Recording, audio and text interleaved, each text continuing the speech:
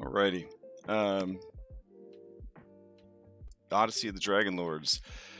I am running this campaign right now and enjoying every minute of it. It's a fantastic campaign, um, incredibly well written, and I am running it online, which you know is pretty convenient because everybody's running games online right now.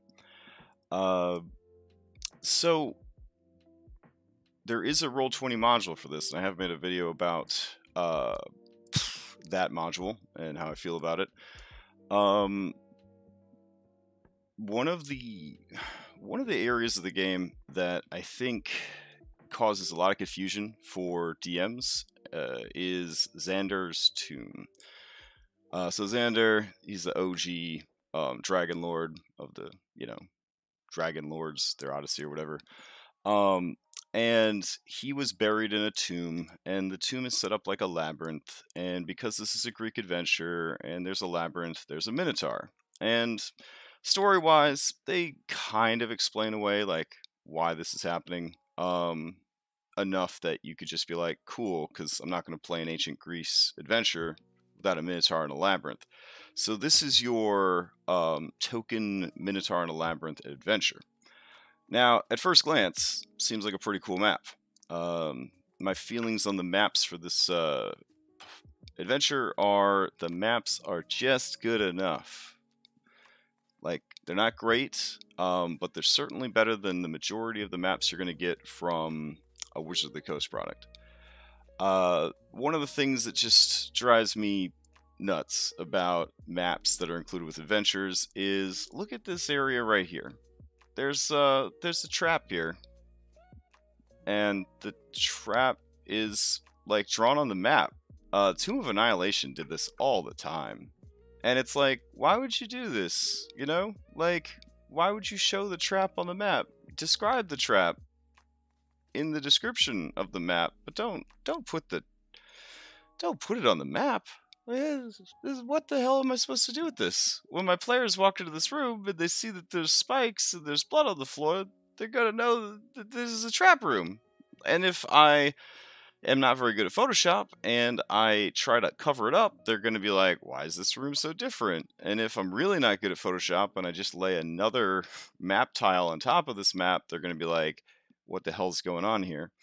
So yeah, um, I don't even know. Uh, so yeah, there's so much going on with this map that needs fixing. Uh, I'm going to try my best in an hour to cover as much as I can about fixing this uh, mess. Uh, both the Roll20 version uh, that you paid 50 flipping dollars for, um, and the uh, the actual published adventure, which has a lot of things in it that just don't make a lot of sense. So it's a lot to try to do in an hour. So let's just jump into this thing right away. All right. So in another window, I do have the adventure opened. Uh, so I'm going to kind of reference that as we go. We're gonna, I guess, start at the beginning and work our way in. Uh, that might be the easiest way to do this. So, location 16, Xandar's tomb uh, blah blah blah. There's undead skeletons in here. Blah blah blah. There's this guy named Graxus the Butcher. Um, first and foremost, Graxus the Butcher looks like a really bad furry. Like he's, I just don't like the the sort of bull minotaur uh, aesthetic that they went for with uh, Thylea. So right away, it's just gonna be a real minotaur. We're just gonna have a bull face. It's gonna be a cow. Uh, it's we're not going to go with this weird like tiefling that hit the gym too much thing that they've got going on. Uh, so let's dig in. The tomb entrance, uh, white marble carved to the side of a mountain. Uh, blah blah blah says Xandar on it. Blah blah blah. Uh, four lesser tombs are adjacent to Xandar's. Uh, they aren't even featured on the map. So if your players go in there, I guess theater to the mind that thing. You don't need a map for it. Uh, let's keep going then. Uh, let's see. Oh yeah, there's also these lions on the map, but I don't recall there being any description of the lions or the lions' significance, so I'm not really sure why they bothered to draw lions on the map, other than they thought they might be cool. So, yeah, I don't know. Just they're. You might have some players that get obsessed with the lion statues, and think they're guardians, and try to mess with them. I, I don't know. Let's keep going. Uh, location 17. Here we go. We're finally in the tomb. Uh, the expansive hall is dark and wet. Uh, I guess it's wet because this area is really cold, even though none of the maps have snow on them. So condensation or something. Uh, let's see. There's empty torch brackets in the walls at regular intervals. The floor descends in wide steps. Uh, guarding the stairwell is a bronze statue of a kneeling, bull-headed minotaur. Okay, well, we do have that on the map at least. Keep in mind, these are five-foot squares too. This map is five-foot squares. So they're already going to have to squeeze just to get past the statue um, to get into the dungeon. And let's see, uh, there's mosaics that talk about the history of the Dragon Lords being foreign conquerors and all that jazz. All right, then we go to 18. We finally enter the dungeon proper. So here's things that were done right about this labyrinth. This labyrinth has some beefy ass walls, right? It's got some five foot thick walls. That's really nice. Is it thick enough to prevent a character with the move earth cantrip from literally just walking through this entire maze? No, it's not. Uh, that's right. Uh, the move earth cantrip can completely destroy this entire complex because it, it is a Minecraft spell. So it takes a five foot by five foot chunk of stone and it moves it. And the dungeon's made of stone. So the, somebody could just walk in with that cantrip and literally just go anywhere they want. I hope none of my players are watching this video because you're going to ruin dungeons for yourselves if you ever realize that a first level, sorry, a cantrip spell can destroy dungeons. So maybe don't do that. But hey, here's why the five foot wall is thick. If you have a group that has some human decency and doesn't use Move Earth to destroy dungeons, ain't nobody going to smash through these walls, right? These are thick. So that's nice. Um, you might have a warlock, and the warlock might have the I see through walls power. That's kind of hype. Uh, you might have people that are addicted to detect magic. Well, five feet of stone is going to shut that down. So the five foot walls are kind of cool. So we at least have that working for us. So they walk into the dungeon and they're immediately in a labyrinth. Now, obviously, when you're in a labyrinth, you always go left. You use chalk to mark your way. Blah blah blah. Standard uh, procedures. So they start moving their way through the dungeon by uh, going left because they know what they're doing, and they immediately end up at Graxus's bedroom, location 21. So let's jump over to Graxus's room. Uh, this room stinks of blood and offal. Awful? I don't know. Animal carcasses and slabs of meat hanging in the ceiling, blah blah blah. So right away, they've got like human farmers, but this place is kind of out of the way and they did fight a bunch of sirens, like not sirens, sorry, harpies on the way in. So to me, it makes a lot more sense if there were like mountain goats and like harpies and stuff in here, like something I don't know, indigenous to the area. I understand they want you to hate this guy and think he's bad, so they went with the classic like human farmer. But like, how far is this cursed minotaur really willing to travel for shopping? You know what I'm saying? Like, mm, probably not that far.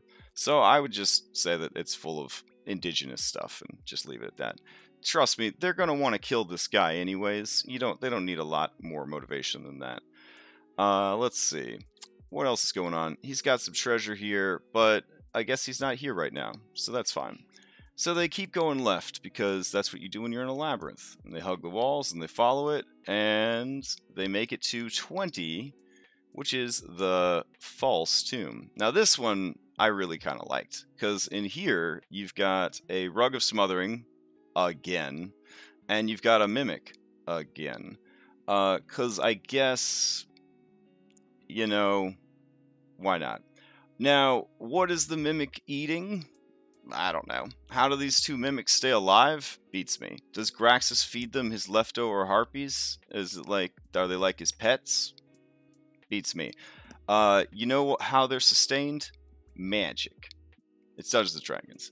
Uh, if anybody asks you how they're sustained, um, Daemon the Lich, he used magic, and now they live forever. The end. Uh, that's the joy of magic. You don't have to know how anything works. You just say magic. That's why religion's been so popular for so long, because you just get to make up the answers. Everyone has to believe you. So, uh, here's the problem. Uh, we've got a miniature labeled Mimic, and we got a miniature labeled Rug of Smothering. Well, that kind of sucks. Uh, so if you are using the uh, the purchase module, you're going to want to go in and you're going to want to delete these guys, and then you're going to want to drag over ones that actually have uh, the correct stuff. So um, you would go to your journal tab. I'm not actually using the um, official purchase module. I use my transmog tool to steal the maps and stuff that I, I wanted. Um, so I didn't have to deal with all the nonsense of the purchased version. So plus I had already built like a bunch of stuff myself and didn't feel like transmogging my stuff over to their stuff and vice versa. So, but to give you an idea, I would go to say this harpy, right? And then I would right click and then delete. And then I would go to the um, compendium, I would search for it and I would drag it over. So in this case, uh, let's see, did it bring over uh, a mimic that was not registered properly? Uh, yeah, it did. Okay, so there's a there's a mimic. Um, so I would right click, delete it, and then I would drag a new mimic over. Um, so you go over here, you type in mimic, and then you drag over a new mimic that has art to replace the bad mimic that doesn't have art. Call it a day. Same deal, you would go over to rug of smothering, and you would drag this over, and then you would delete this one. And that solves your problem. Now, that's if you're just doing this, you know, to to do the bare minimum. Now, if you're going full extra, uh, you would go and find an actual like sarcophagus mini, and then you would drag uh, like a sarcophagus mimic, excuse me, which is a real thing uh, from Pathfinder. So, uh, and I have it. Gasp! Surprise. Yeah. So it looks like this hideous creature right here. Look at that. That nasty. Um, yeah. So I'd bring that in instead. I'd make it a large creature too, instead of medium, because that'd be scarier. Uh, and then for the rug, I mean, I don't know how much cooler you could get than this guy from Aladdin, so I guess we'll just leave that one alone. Um, Alright, so I guess we fixed that room. Uh, we're going to squeeze back into this uh, narrow hallway and keep going left. And now we're in the skeleton room, location 22. Skeleton room location number 22 says uh, the Chamber of Supplicants. This barrel vaulted chamber. Not exactly sure what a barrel vaulted chamber means. I think it has to do with some kind of architecture where it's got like these uh, half columns built into the walls. Um, but somebody might ask you what that means, so get your Google ready, I guess.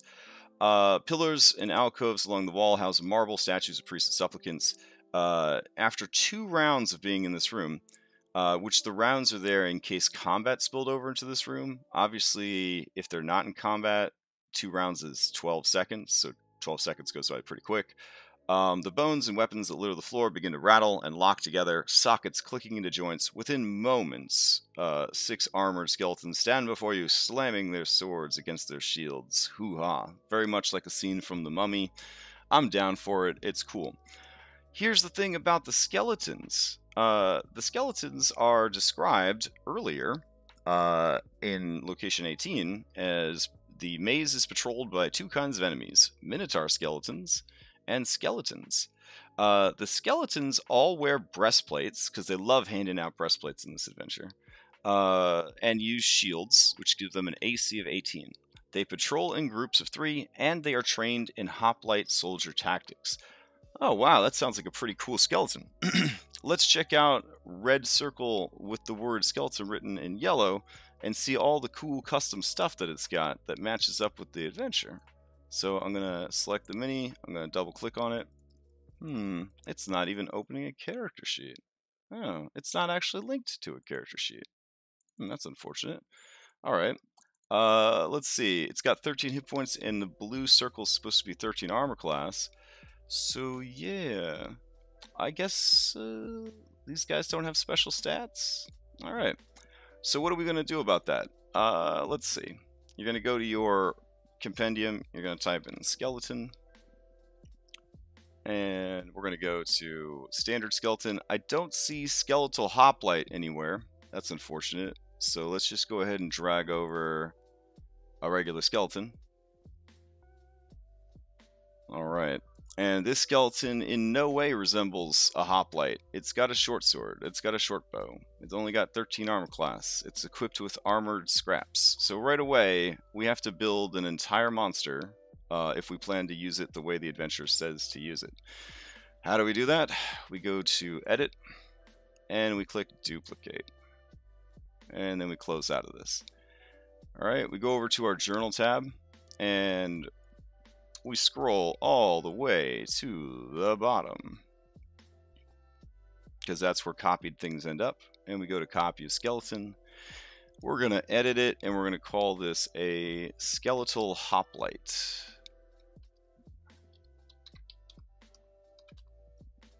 And yeah I think that's how you spell it. All right we're going to remove the art and we're going to remove the token. And then I'm going to go and grab my skeletal hoplite uh, miniature because I have such a thing. I actually have three different ones because I have a problem, uh, I guess. Uh, so let me drag this over. Here we go.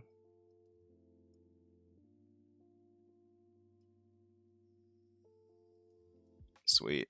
Looks pretty cool. Uh, all right. And then we will save it.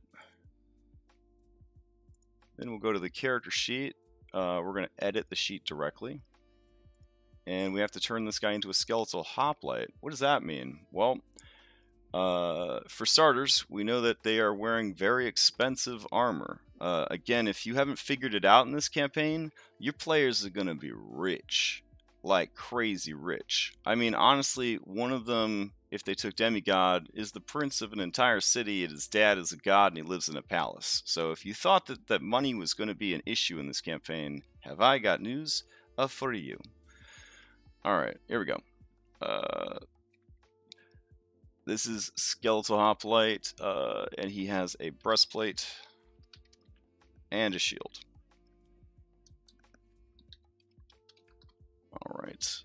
Uh, so that changes the armor class to an 18 instead of a 13 and makes these guys incredibly valuable, especially if they have a means to transport all these breastplates back home. Now, it also says that they have the techniques of a soldier. Well, I think they're referring to the hoplite soldiers that were already battled earlier in the um, campaign, like outside the Oracle. So I'm going to look that up. Uh, let's see, Hoplite Soldier. Nope. So we'll just actually go to the soldier character sheet from earlier. Here we go. I'm going to use the search at the top. All right, there we go, soldier. If you wanted to spice this up a little, I guess you could reskin the um, soldier captain as well and have some of the skeletons be beefier and stronger than the others. But what I'm going to do right now is I'm just going to make sure that whatever these guys can do, uh, the skeletons can do. So I'm going to give them martial advantage. Here we go. I mean, because it has the same tactics as the other guys, so that's my understanding of it. Uh, let's see. And then they have this long spear, um, which isn't that great to just make up a weapon and then your players end up with it. So we're actually just going to call this uh, a spear. And what was suggested to me was that instead of dropping reach 10 single-handed um, spears uh, into your campaign, is these guys are just trained in a technique that allows them to fight at 10 foot range uh, without actually being it. So basically, they're like spear masters or something. All right, so we changed that out from a short sword to a spear, so that matches a little bit better. And then we'll give him a javelin instead of a bow to match up with the hoplite uh, thing a bit more. It may have been easier just to turn a soldier into a skeleton at this point, but we're already we've already come this far, so let's just keep going. So 3090. Um, everything else could stay the same. And then finally we have to add a new attack, this shield push. Alright. And you could bet if I'm having to build this now, I'm going to throw a bunch of skeletal hoplites in later on um, as like yard trash in another area. because if I had to go ahead and do this, might as well, you know, benefit from it. All right, reaches uh, five feet. Uh, let's see, going off of its other stuff, uh, it's got a plus four to its attack rolls. And then on a hit, the shield only does a d2. Uh, and then plus one, sure. Um, there's some inconsistencies here because uh, we're using like um, the dexterity for the skeleton on all of its attacks, which I guess is cheating, but I don't really care because uh, I'm the DM and I want it to be challenging, and my guys are going to die anyways. And this ain't Pathfinder, and you can't call the Pathfinder Society police on me, so there you go. Uh, and this does bludgeoning damage. Alright. Cool. So now we have some skeletal hoplites, uh, as we were instructed to do. So let's go ahead and register their miniature real quick. Alright, drag this over. Double click on it, set it up real quick. Um, I like to use uh, red for my hit points instead of green. So I'm going to set that up there. NPC AC right here. And they can see uh, in the dark. Cool. All right, and then I'm going to, while it's selected, go to Edit Skeletal Hoplite, register the token, and now I can drag out as many of these guys as I need uh, to fill this room, which is technically six.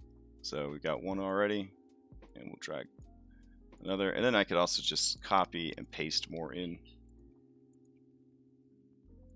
Boom. All right, that room's done, and we fixed the skeleton problem. So, we progress further into the dungeon, we keep going left, follow the winding trail, and we make it to room 23. Alright, so we walk into room 23, and let's see, this rectangular room, uh, already an issue, right? Because it's square, it's not rectangular, so something's going on here. Uh, this rectangular room has a high ceiling, uh, sculpted walls, and a flagstone floor. A mangled skeleton lies near the entryway. Okay, there's a clue. The walls are embellished with rows of screaming stone faces. Okay. The far end of the room features a heavy pair of a pair of heavy bronze double doors. Two skeletons are sprawled on the floor in front of the doors. Their bones are partially crushed and their armor is mangled. So they have given you some clues about what's going on in this room. Also, whenever I hear that a door is like a double door, I assume that it takes up like 10 feet. I mean, a double door that's only 5 feet? I feel like I'm opening a wardrobe to Narnia, you know? Like, why make it a double door and not make it 10 feet wide? I have no idea. All right, so what can we do to fix this room? All right, let's bring out, uh, let's see, we'll bring out Phil. Phil will be our test dummy. No, wait, Phil can't see in the dark. So let's bring out reset. There we go. All right. There we go. Uh, so Reset's here. We'll move her to the token layer and we'll jump into her miniature so we can see. Oh, yeah, right. She can't see in the dark either. All right, so let's just assume she has a torch. There we go. Uh, all right, so Reset is in the room and she's looking around and she's like, I don't know, guys. I think there might be a trap. I just got a weird suspicion. Oh, is it the blood on the floor or the description of the skeletons that they didn't bother to draw? Like what what's giving you uh the idea that there might be a trap? Well, I don't know. It's just cuz I can see the trap cuz it's right there cuz they drew it on the map. Oh, wow. Yeah. Mm. Mm, I guess you're right. I guess you can't see that. So, what we could try to do to fix this is we could go to dynamic lighting layer and we could I mean, the best the best we could really do here without redrawing the this whole room in Photoshop is we could take a dynamic lighting tool and we could hide um, essentially this part of the room. Now, is it it already reeks of like trap, and this is definitely going to further uh, rouse their suspicions. But hey, at least the room's a rectangle now. Uh, so they're going to be like, why is this the first wall that we haven't been able to see like the whole wall for? And there's blood on the ground and all that. Honestly, the amount of clues that they have in the description, they should know this is a trap. They're going to start looking for for traps and stuff like that. But at least you save yourself the embarrassment of the trap actually being on the map. And all you had to do was just draw one line um, in the dynamic lighting layer. So I guess we'll say that this room is fixed. All right, that brings us to, uh, excuse me, throat's dry. Uh, location 24, Tomb of Xandar. Hmm. So here we are in Xandar's tomb. Uh, walks in, looks around. Cool. Now there is a sconce on the wall, and it does look like it's lit according to the illustration. But let's see what it says here. A large barrel vaulted chamber is decorated with polished bronze fittings which flicker like gold in the dim red light of a single torch. Okay. So, uh, I talked about this in my video where I kind of went over this whole module, but they sold you a bunch of dynamically lit maps without finishing the dynamic lighting. Like, so, congratulations, you spent $50 on an incomplete product. Uh, if there is light in the dungeon, and it's described in the adventure as there being light in a room, and I paid you to dynamically light the damn map for me, the least you could do, map making people of the world, is to put goddamn torch in the room for me. So, uh, we're gonna do that ourselves. Now, of course, we have our own uh, fire and torches and all that jazz that we've made ourselves because we're Roll20 champs and we watch the informational video series available on YouTube that taught us how to do all this stuff. So I'm going to go down and I'm going to take this Fire 4020 and I'm going to drop it here and put it on the torch. And now this room is actually lit by a torch. Man, that was rough. It was rough. Uh, glad I was able to do that and they they uh, didn't spend the 30 seconds it would have taken to put that torch in there. Uh, all right, so room 24. Uh, we're in Xandar's tomb. Now, if they've been attacked by a previous tomb, they will, of course, stab Xandar's tomb, and that's fine. Uh, so the torch is an ever burning torch, blah, blah, blah. Uh, you got to have a combined strength to open it. Uh, and then it says, as soon as the sarcophagus is open, if Graxus is still alive, he just arrives to attack the heroes. How does he arrive to attack the heroes? You know the answer. Magic. Um, don't don't don't explain yourself. Don't explain yourself. He's just there. He's just there. So, oh look, the adventurer knew he was going to be there. So he's off to the side here. Here's Graxus. Now, personally, I'm going to have Graxus hunting them down constantly during the whole adventure. So I doubt Graxus is still going to be alive at this point, but who knows. Uh, what do we got going on with Graxus? Uh, let's check his character sheet. All right, he's a Minotaur. He can make a two attacks. He can charge. He's got Labyrinthine Recall, which is how he got there so fast. Wink and then he can also go reckless.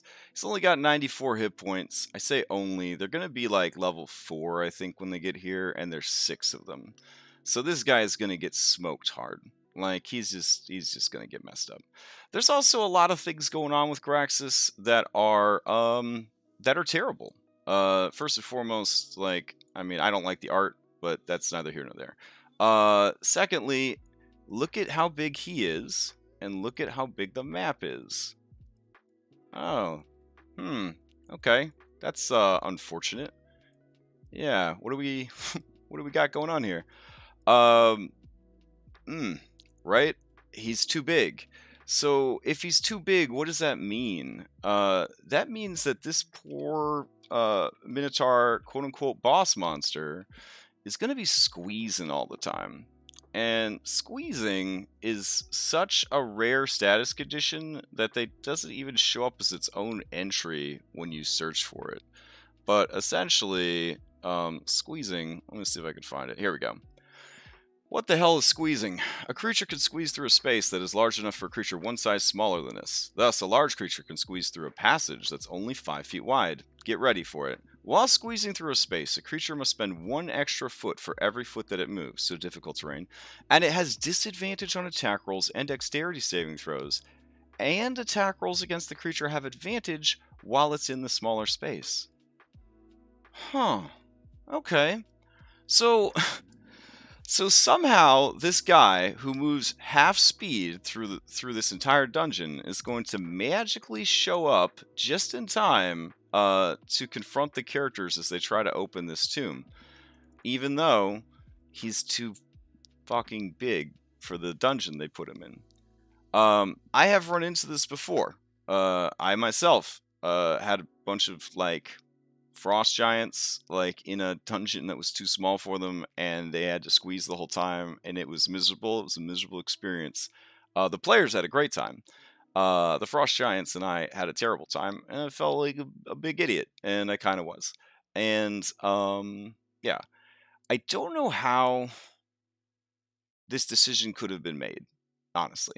Um, even if he was crazy strong which he's not he's only a cr5 like yeah, I just don't know because like his hit points, right, are kind of low for a quote unquote boss. He doesn't have a ranged attack, right? So like he's gonna be moving 20 feet at a time through these passages. He's gonna be squeezing the whole time. I don't know. I don't know. It like hurts my brain. Uh, so if uh, let's say let's just move him to the object layer. I'm gonna just mess this whole map up because why not? Uh, so Resette's here, and she sees him coming, and like, it's awkward, right? Because he's always kind of smushed, like because he's snapping to grid. If you didn't want him to snap to grid, you could make him a drawing, but if he was a drawing, then you wouldn't be able to access his hit points or anything. So that's a pain in the butt. Now you could every time you move him hold down Alt, and that would allow you um, to place him without snapping to grid, and that's kind of cool. And he's kind of big, so that's that's definitely intimidating. But like, what are we supposed to do about him being like, you know, like squeezing the whole time? It's terrible. Uh, so in the Odyssey group I'm in, this question comes up all the time. Like, how how are we supposed to deal with this nonsense? right? Like it doesn't make any sense. How are we supposed to deal with it?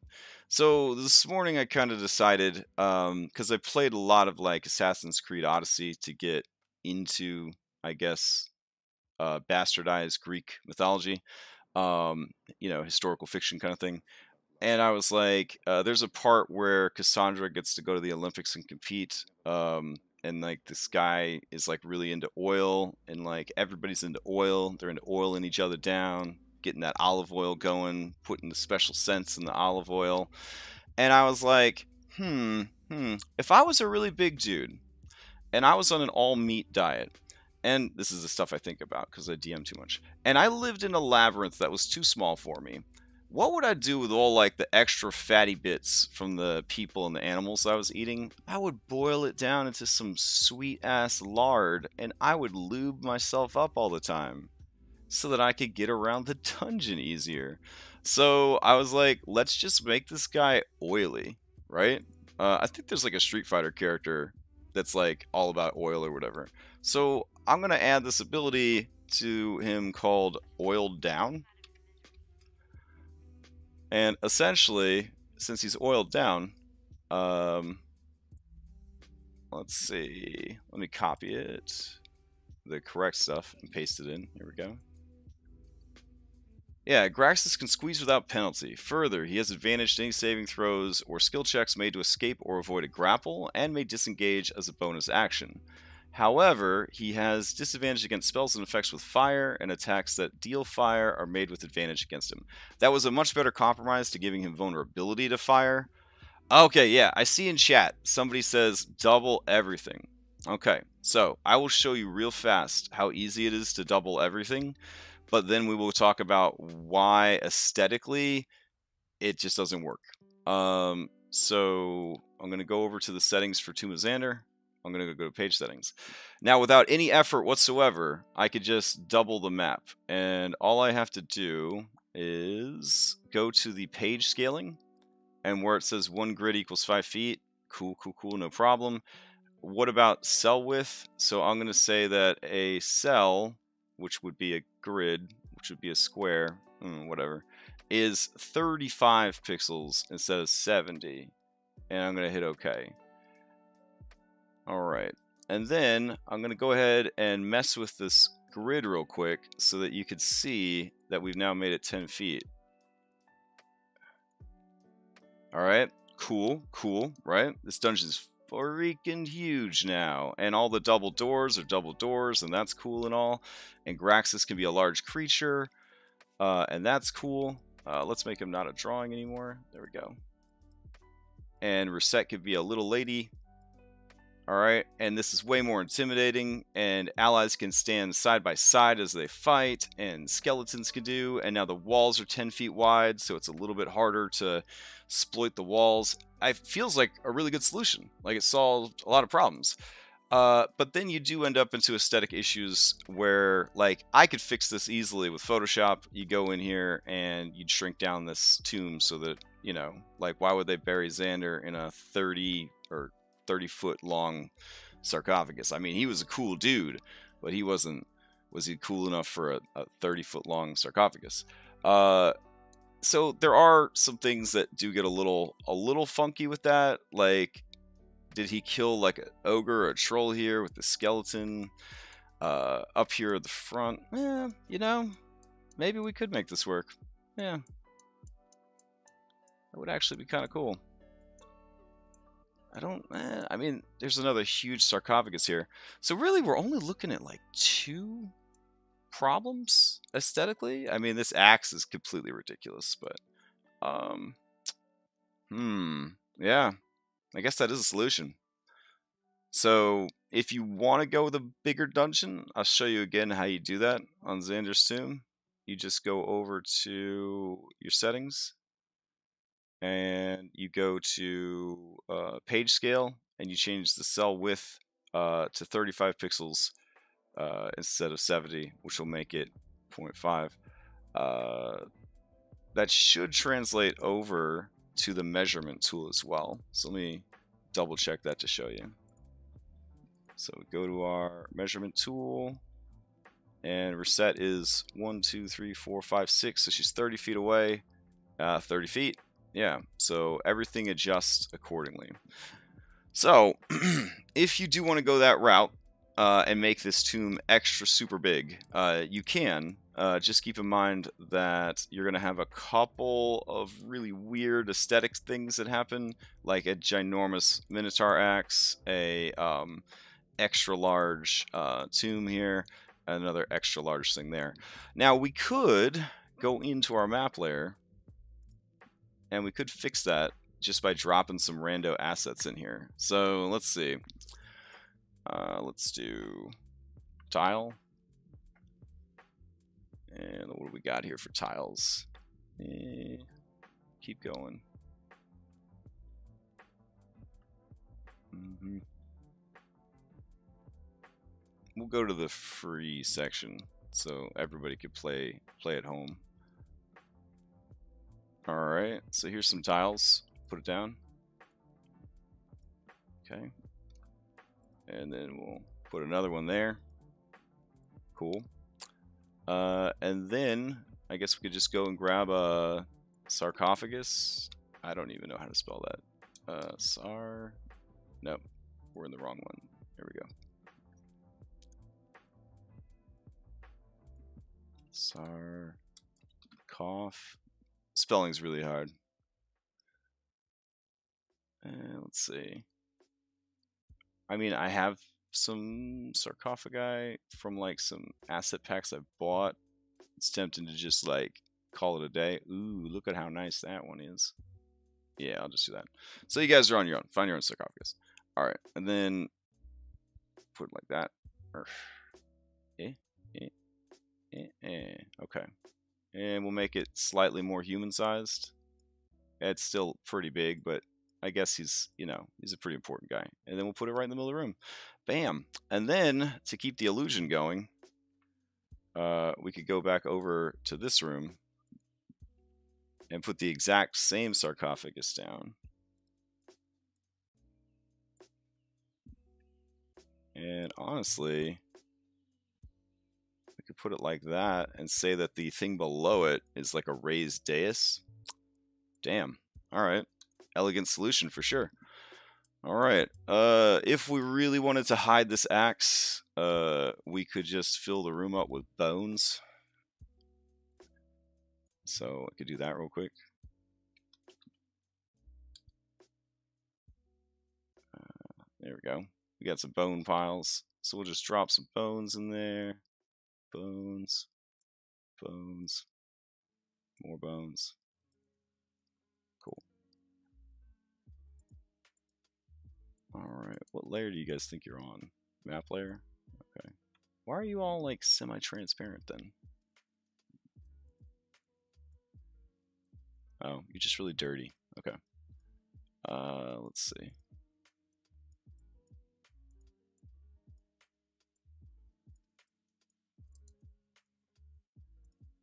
All right, then we go back to the object layer.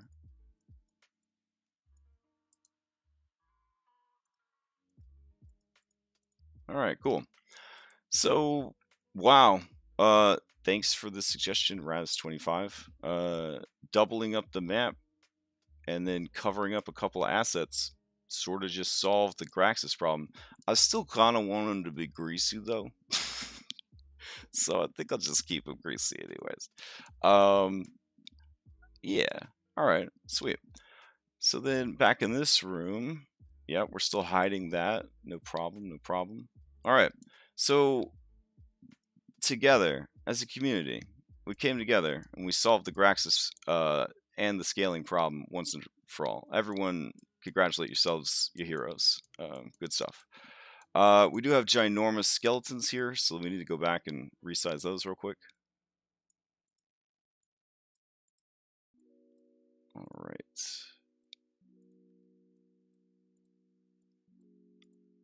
Cool. And of course, uh, we've got ginormous.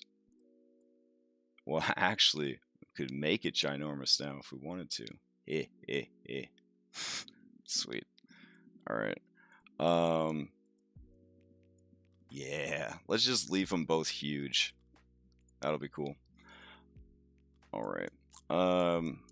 So they talk to Xandar and they take care of Xandar business. Uh, they get the armaments of the Dragon Lord. They talk to the Vanished One, the treasure, and I guess that's the dungeon.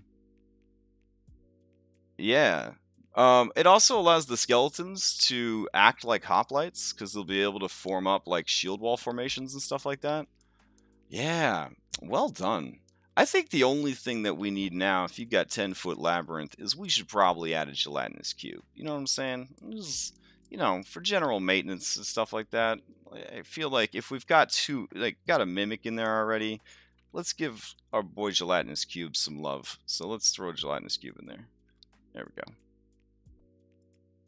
Uh, I feel like we'd be letting down expectations if we didn't have a gelatinous cube or two um, that we're kind of moving around in this dungeon. This also makes it easier for your Minotaur skeletons. So uh, the Minotaur skeletons can now move around the dungeon without grinding their bones against the hallways the whole time. You know what I'm saying? Uh, so we get rid of these crapo ones, and then we go and we grab uh, skeleton and we drop these Minotaur skeletons in. Now, Minotaur skeletons are a lot of fun. Um, they feature prominently in a lot of stuff in Tomb of Annihilation. Uh, they've got a gore attack, they got a greataxe attack, they got charge. They're pretty fun.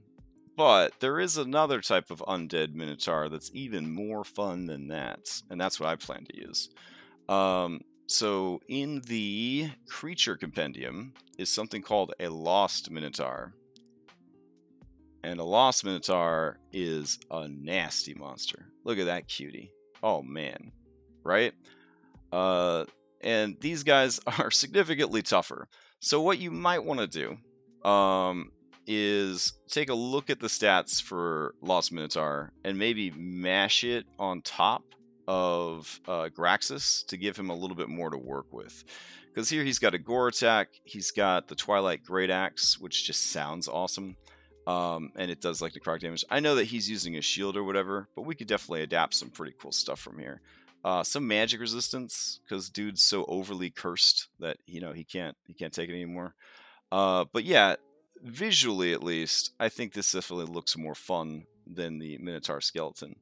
Um, which why did it drag out a Minotaur skeleton with no picture? Let me see. Uh, Minotaur skeleton. Give me one with a picture. Hmm. Okay, I think I have to delete the other one before I could drag out the new one. Let me do that real quick.